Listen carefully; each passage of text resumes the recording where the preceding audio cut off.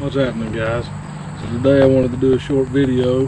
I've uh, been looking around online trying to come up with an idea for a tackle storage system for the bottom of my rod lockers to be able to hang uh, plastics, spinner baits, whatever you got. Something you can hang up inside your box just for quick access. If I'm out here and I'm flipping these mints, rage mints, you know sometimes it uh, you might go through them pretty quick.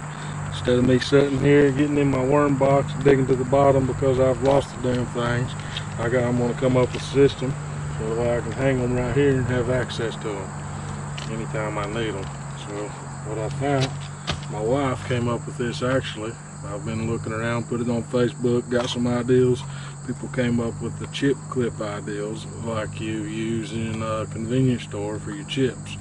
Well, I didn't really think that that was going to work too good. And then the uh, curtain hangers. I thought that would be a hassle trying to get those things on and off and, and, and putting your bag of worms on that little bitty shower clip and then latching it back up. I just I feel like that would be too much of a hassle. So my wife mentioned it to her, of all people, came up with the command clips.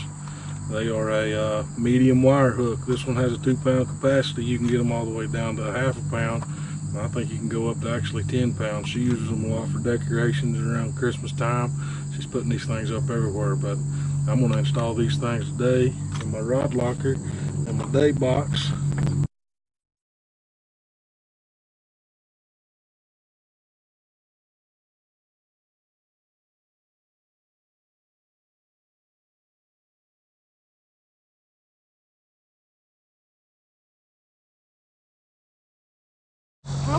Just finished up putting the command medium wire hooks in my boxes.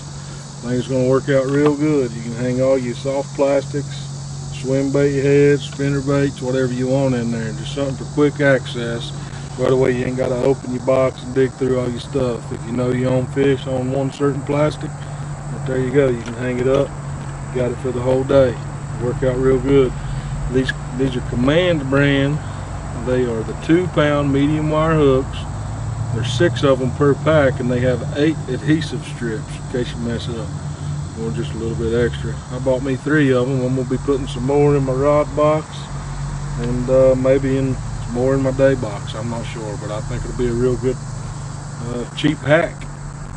It's a lot better than what you can order online. And uh, we'll see how it does. made this video for Legions of Bass. Don't forget to subscribe. They got a pretty good thing going on, a bunch of good guys send your videos in too help people out. It's right here maybe this will help somebody out save you 50 bucks. Instead of going buying off of one of the big sites getting some kind of fancy little hook these things will work real good